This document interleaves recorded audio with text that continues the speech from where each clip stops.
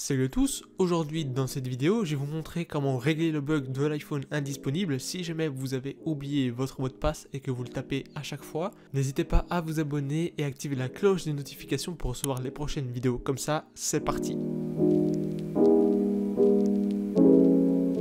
Alors si vous êtes déjà arrivé le même problème que j'ai eu, donc tout simplement l'iPhone qui est indisponible et que vous devez réessayer dans une heure, dans deux heures, etc. et que vous n'avez plus le mot de passe, dans cette vidéo je vais vous montrer comment régler ce problème très facilement et simplement. Alors avant toute chose, vous allez vous rendre sur le site de Tenorshare et télécharger le logiciel For UK. Ce logiciel va vous permettre, comme je vous l'ai dit, de supprimer le code à 6 chiffres de votre téléphone Touch ID, Face ID, supprimer le code de temps d'écran, etc.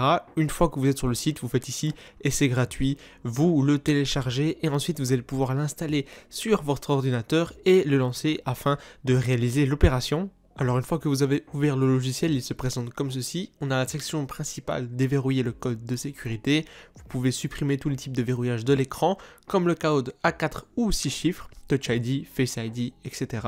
On a ensuite la possibilité de supprimer le temps d'écran, supprimer le mot de passe du temps d'écran de votre appareil iOS sans perdre les données. Vous avez la suppression de l'identifiant Apple, supprimer l'identifiant Apple de l'appareil iOS, désactiver la fonction FMI, contourner le MDM, contourner la gestion des appareils mobiles et la gestion à distance sur les appareils iOS et un gestionnaire de mots de passe, trouver divers mots de passe enregistrés sur votre appareil iOS. Nous, dans cette vidéo, on va utiliser ici déverrouiller le code de sécurité on va pouvoir cliquer ici sur commencer, bien sûr en ayant branché auparavant le téléphone sur l'ordinateur. Et une fois que c'est fait, vous pouvez cliquer sur commencer. Vous allez ici déverrouiller le code de sécurité. Solution en un clic. Il suffit alors ici de faire commencer, tout d'abord vous allez devoir télécharger un firmware, donc qui est le dernier firmware de iOS sur votre téléphone. Vous allez cliquer ici sur le téléchargement. Une fois que vous avez cliqué, vous allez avoir une barre de chargement ici pour téléchargement du firmware. Ça prend assez de place vu que c'est un firmware iOS.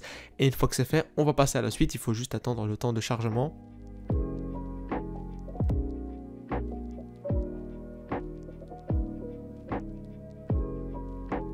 Firmware a réussi, vous allez avoir ce message ici, le firmware est prêt et veuillez commencer à supprimer le verrouillage de l'écran.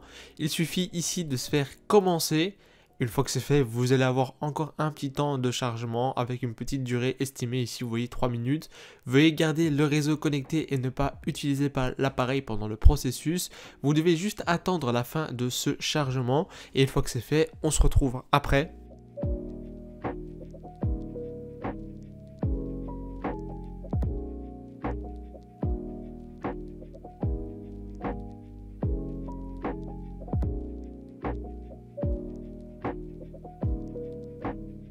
fois que c'est fait, vous allez avoir ce message, suppression du code d'accès de l'écran avec succès, il vous suffit simplement de cliquer ici sur terminer, et votre téléphone va redémarrer, et une fois que c'est fait, tout est bon, vous avez supprimé le code de déverrouillage de votre téléphone. Voilà, c'était tout pour cette vidéo, n'hésitez pas à me dire ce que vous en pensez dans les commentaires, et moi je vous dis à la prochaine, ciao